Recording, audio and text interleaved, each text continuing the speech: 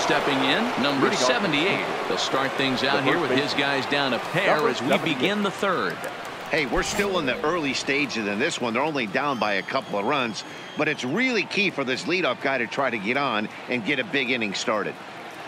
First offering on its way. Swing and a drive to right. There it goes.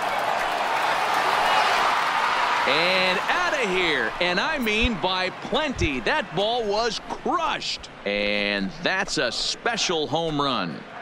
Number 78 continues to add to his major league total. That's the 200th home run in what's turning into a pretty nice career. And guys, 200 homers is a feat a lot of players never even get close to. If you get to this point, you've definitely established yourself as something of a decent power threat. So you can bet pitchers are aware of his power when he steps into the batter's box. He's definitely earned some respect.